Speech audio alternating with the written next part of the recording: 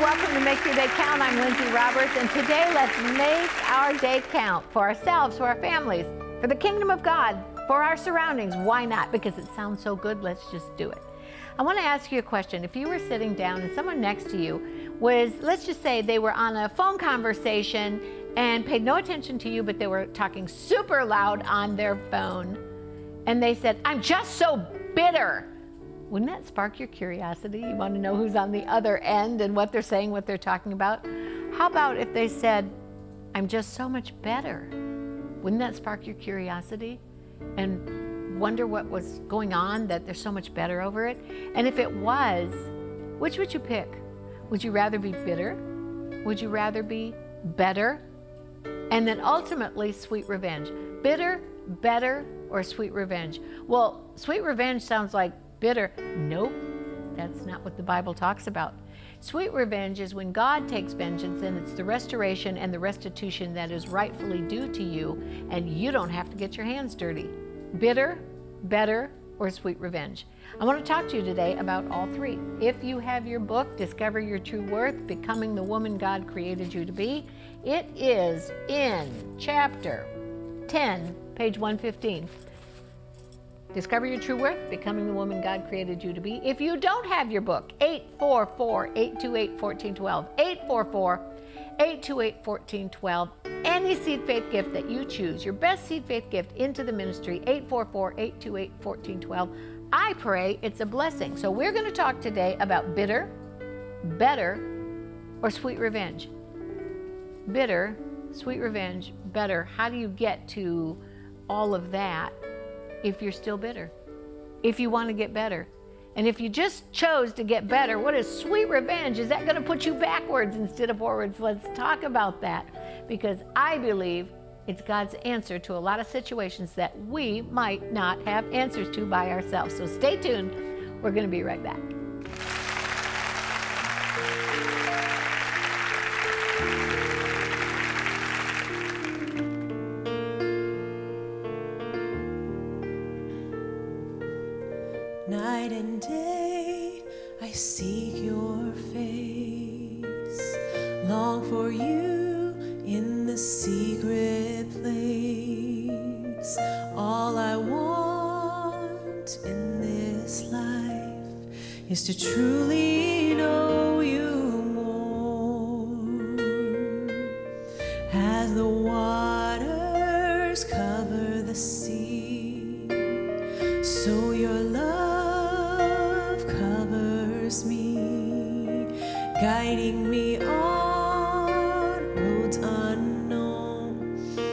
I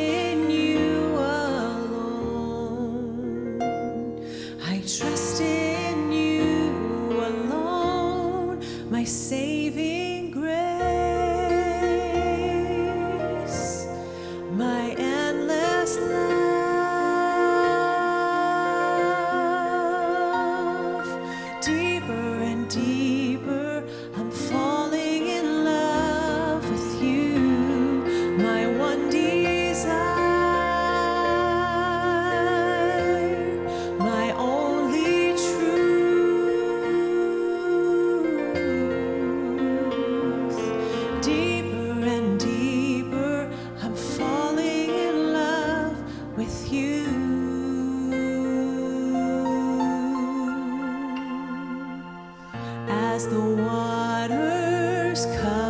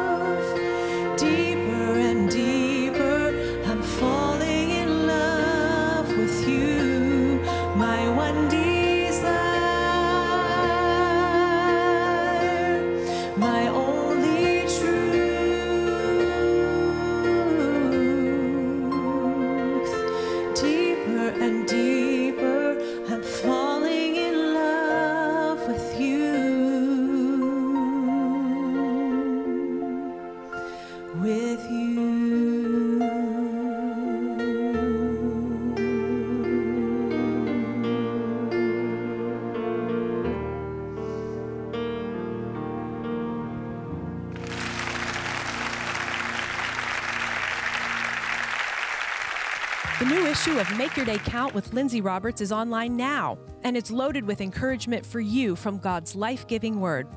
Read on your computer, tablet, or smartphone. Go to richardroberts.org to read this free online issue of Make Your Day Count with Lindsay Roberts. Lindsay's brand new book, Discover Your True Worth Becoming the Woman God Created You to Be, is now available to order. For any person who has ever suffered, if you're hurting, if you've been hurting, if you don't know a way out, the book is for you to find a compass that will point you to Jesus. You may think there's no way God can use you, but Lindsay shows how his power is made perfect in your weakness, and it can help you be all that God has called you to be. I'm excited about Lindsay's new book, Discover Your True Worth Becoming the Woman God Created You to Be. Lindsay is an amazing author, speaker, communicator. I know this book will bless you and inspire you, so I hope you'll pick up a copy for you and a friend. Be blessed today. Bishop T.D. Jakes writes I see the message in Discover Your True Worth. It is one that will guide women who are on the journey to becoming all that God created them to be. Discover your true worth is a discovery. It's steps, it's stages. There are tools that the Bible has given to us, and I like to convey those tools in everyday experiences. Kenneth Copeland writes This book is wonderful and powerfully anointed. Discover Your True Worth is a must read. You know, I wrote this book out of my heart, but I had someone say to me very, very recently, she felt like it filled a void. That may be the best explanation that I didn't even think of myself, but it's to fill a void. Joni Lamb writes Lindsay Roberts walks readers through the Bible, telling the stories of women who, even in uncertainty, discovered their true identity in what God had destined them to accomplish. I highly recommend this engaging book. I've been privileged to know her, to hear her, to receive from her for many, many years. She is a voice of the Holy Spirit to the lives of everyone. I want you to get Discover Your True Worth. It's from Lindsay Roberts. That's all you need to know. To request Lindsay's book, Discover Your True Worth, go to richardroberts.org or call 1 844 828 1412. Again, that's richardroberts.org. So let's go back to my conversation about bitter, better, and sweet revenge. Have you ever, honestly answer it, honestly, have you ever been bitter against something? I'll answer it, yes. Did you get better by staying bitter? No, I got bitter by staying bitter. Did you want to get better? Even when I was bitter and I was in unforgiveness and bitterness and all of that, I really did want to get better. I didn't know how. And in addition, I wasn't sure if I wanted to let somebody be forgiven when I didn't feel like they deserved it. Bitter, better, or sweet revenge. Chapter, tw- I know it's chapter 10, it is page 115. Bitter, better, sweet revenge, and page 115. What has that got to do with today? You know, I think that the older I get, the more opportunities I get to stay bitter because now that I'm older and now that it's not just about me, because now I have a family and now I have a husband and children and this and that, and it extends into different areas. I think I have more opportunities to be bitter. And to be perfectly honest with you, when people do something against me, sometimes I can just let it go. Not always, but sometimes I can. But when you do something against my family, different story altogether. Somebody was asking me about something that happened in a church service that they had gone through, and I said, they said, had I ever gone through anything like that? I said, well, let me tell you something. So the answer was yes. Um, before I married Richard, I went to a church service with Evelyn, and it was in a place that, you know, I didn't, at first I didn't even know if they'd recognize her. That was a foolish statement. You know, Oral Roberts, Oral Roberts' wife, of course they recognized her. And they made known that they recognized her. Now, this is me before I'm married, coming out of law school, having opportunities to raise my hand and speak or not speak, talking to a book, a book, you know, instructing me back. This is not me understanding the way the world is when the world wants to be relatively ugly, and then couple that, compound that, catapult that that it happened in church. And if you really want to springboard into bitterness, it was the pastor of the church. So we're sitting there, and I don't know what row we were in, but we were in this church, and, and I thought, okay, I'm going to appease Evelyn and go in, and I'm going to be nice. I'm going to sit and I'm going to smile. And I didn't like the fact that some people were talking behind her back about how sweet she was that was lovely. But you know, when you get that, you kind of get the flip side, and a lot of people talking behind her back about how they couldn't stand her husband, and you know, they tossed her into the mix. Okay, I'm in church now. And you know how people make sure they say it just loud enough that you hear it? So we're sitting down, and I thought, oh, thank God we've now sat down. We've kind of missed that whole crowd out there that could be really ruffling my feathers. And I noticed Evelyn's feathers were not ruffled. And I thought, either she didn't hear or I have a lot to learn. It was the second part. So the pastor gets up. Music was beautiful, to be honest with you, absolutely beautiful, unexpectedly beautiful. Pastor got up. He started quoting scripture. Lovely. Prayed a prayer. Double lovely. He was very eloquent. And then he started in on who was to become my father in law, Oral Roberts, looking at my mother in law, Evelyn Roberts, recognizing her and quasi acknowledging her, and then blasting Oral. I was trying not to say something, and I didn't. If I'd been alone, might have been different. But there was Evelyn. She was not moved. She was not shaken. She was not upset. And I'm sitting there I'm processing, but truth be told, I'm learning. I'm processing. Little did I know that I was learning. And the service was over, and of course, he is standing there shaking everybody's hands, probably praying that Evelyn Roberts didn't walk through the line and he got away with what he said. And here comes Evelyn making a beeline right to the pastor. And I thought, this is going to be good. And here, Evelyn Roberts, I am in my very early 20s, not used to this. And Evelyn Roberts stretched out her, her hand and said, Why, isn't it a lovely day? She didn't say, Isn't it a lovely sermon? Because it was not. She didn't say something lovely about the pastor because he was not.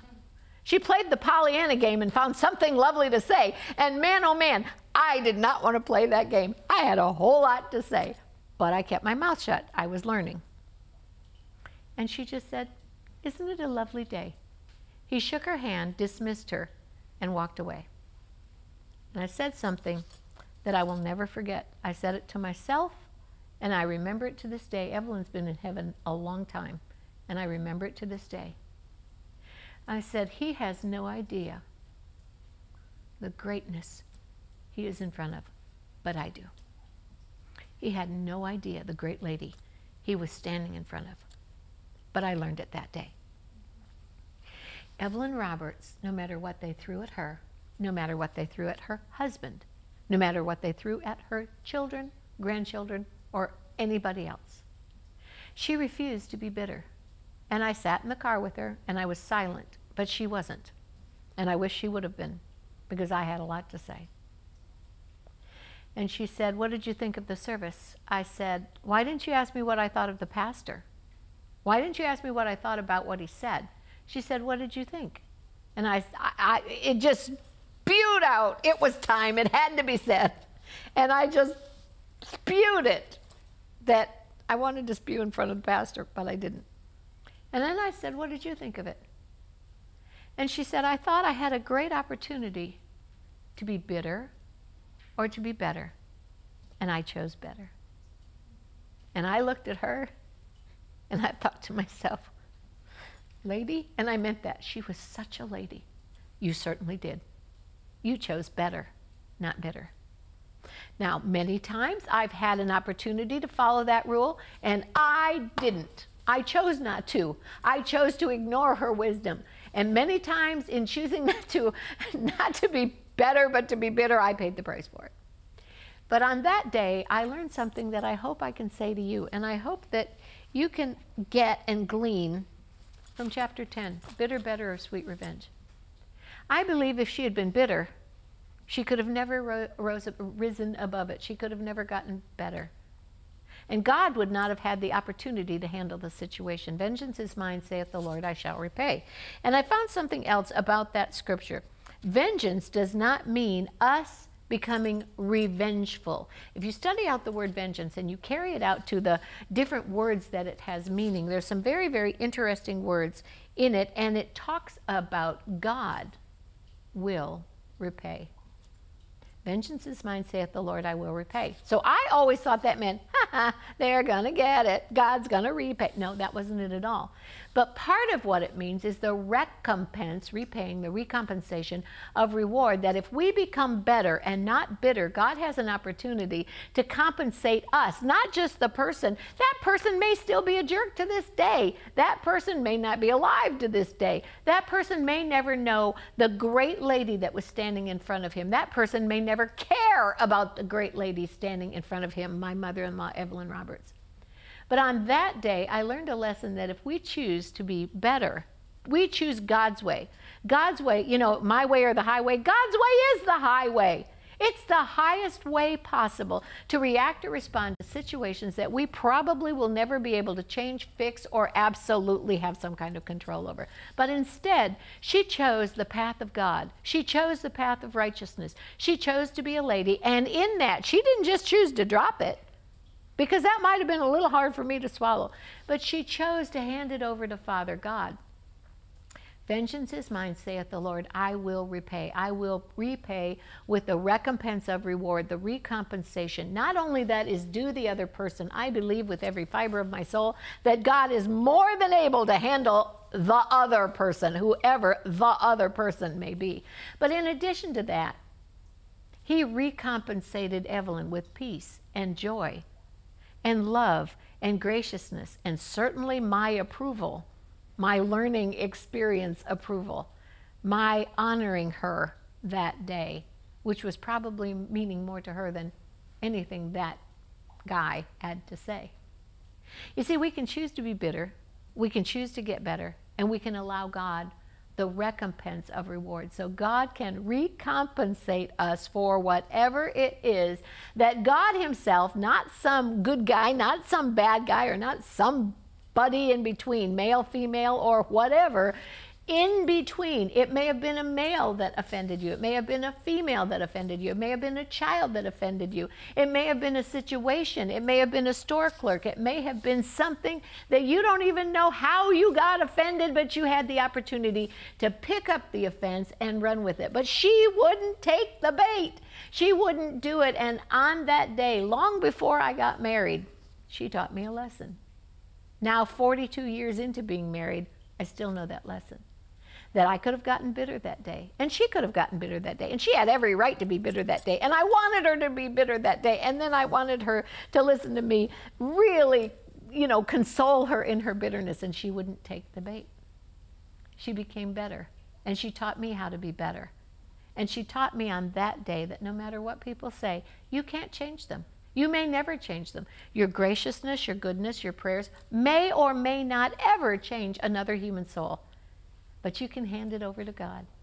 and allow God the privilege of recompense, recompensating you, the recompense of reward, rewarding you for being Christ like, rewarding you for the scripture that says, What you've done to the least of these, you've done unto the Father God, you've done unto the Lord Jesus. And teaching me, perhaps, one of the greatest lessons of my life. And I want to encourage you today are you hurting? Because I was hurting for me, knowing I was marrying into that family, and I was hurting for her. But she wouldn't take the bait. And I've been hurting a lot, including lately. And I've taken the bait a lot, even lately. But I have a decision, and I want to encourage you that thank God we can choose this day whom we'll serve. I want you to choose do you want to be bitter, better, or allow God the opportunity to make things right in your heart, in your soul, maybe even in the situation? I don't think, to my knowledge, all these years later that that situation was ever repaired. I don't think he ever apologized. I don't think he knew what he was doing. And honestly, I don't think he cared what he was doing. But Evelyn got the opportunity not to have that dagger in her heart or in her soul or that spear in her back, but she had the opportunity to allow God the balm of Gilead and the opportunity to teach a very young person a very good long lesson. I pray for you right now. Maybe someone's hurt you.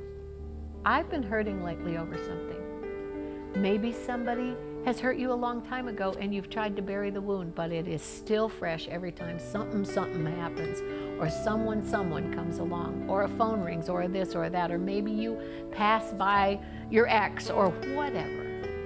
I've had a lot of whatevers in my life. Some of them, I took the bait. Some of them I didn't. But I believe we have an opportunity, even if it's old bait. I believe we have an opportunity to take whatever it is, hand it over to God, and say, Lord, I repent for my attitude. I can't tell you in the last couple weeks how many times I have repented for my attitude. And I can't tell you that in the next few weeks I may not have to repent again. But the truth of the matter is, we're not perfect, we're human. God has not given us the measure of perfection, but He gave us the measure of faith. And I want to take that faith today and hand it to the Lord and say, By faith, Lord, I am trusting you that you'll take care of the situation. Maybe it's not anything I said, but maybe there is some kind of situation. Have you ever heard that saying, the pebble in your shoe or the, the burr in your side or whatever they call it? Maybe there's just a pebble in your shoe. Maybe there's just a burr in your side. But whatever it is, I want to encourage you to think about not taking the bait, to think about handing it back to the devil from which it came. The Bible says Satan is the accuser of the brethren. He comes to steal, to kill, and to destroy, even your church experience or your day. But instead, I want to encourage you to consider handing it over to the Lord and say, Father God, I can do all things through Christ who gives me strength. I hand this one to you. I hand them. I hand what they did. I hand the situation. I even hand you my attitude. And see what God does with it. Give God the opportunity to make your day count today in Jesus' name. I pray that for you today in every area of your life. I pray for God to heal your broken heart. I pray for God to heal your soul, your spirit, your mind, your will, your emotions. I pray for God to heal your body.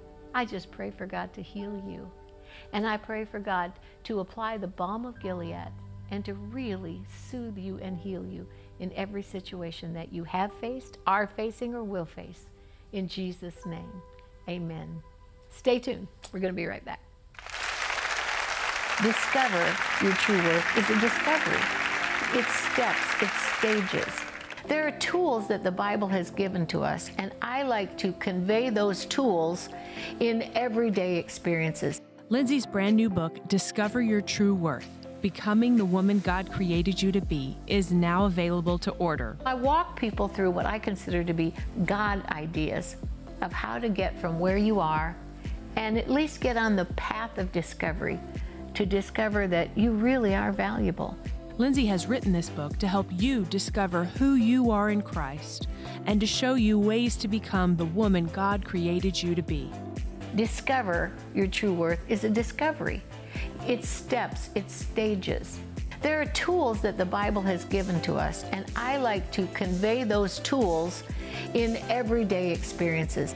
You may think there's no way God can use you, but Lindsay shows how His power is made perfect in your weakness, and it can help you be all that God has called you to be. Lindsay helped me realize that my worth is not based on anything I have or haven't done, but is purely based on what Jesus did for me and what he can do through me. My worth is based on what happened at the cross when Jesus' blood was shed.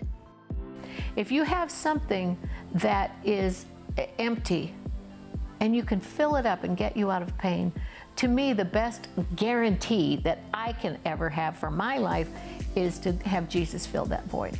This book has opened my eyes to see all that is within me, to be a woman in these last days that will make a difference. This book not only feels like a mentor coaching you, but it feels like sitting down with a dear friend. It's relatable, impactful, and so necessary for today. From a glance, Discover Your True Worth could seem like it would only apply to women in the church, but it can help anyone who's looking for answers. I didn't think that I could receive much out of a book written for women, but this book is packed with answers. I want this book to be a game changer. I want it to be a life changer. To request Lindsay's book, Discover Your True Worth, go to richardroberts.org or call 1 844 828 1412. Again, that's richardroberts.org. As you can see, I'm standing in front of the cross. What a lovely place to be standing at the cross. And I want to encourage you, if you would like to give us your prayer requests, as so many people have done, and we pass by this all the time and we pray over the prayer requests, I would like you to go to oralroberts.com slash the prayer, oralroberts.com slash the prayer, uh, uh, the cross. I'm sorry, let me say it right. oralroberts.com slash the cross. You can always pray, but oralroberts.com slash the cross. We are taking your prayer requests, and it's all based on a vision that I had seen, a dream that I had had about Jesus saying, put it on the cross, give it to me. Put it on the cross. Trust the work of the cross. So oralroberts.com slash the cross. Let us print them. Let us get these here. Let us put them on the cross and let us pray for you. And right now I pray for you. I put it on the cross, so to speak. We bring it to Jesus, whatever it is that you're going through right now. I pray for Jesus to be your healer, your Savior, your Lord, your King of Kings, and Lord of Lords in every way. I pray for God to bless you today in Jesus' name. Amen. Make it count today.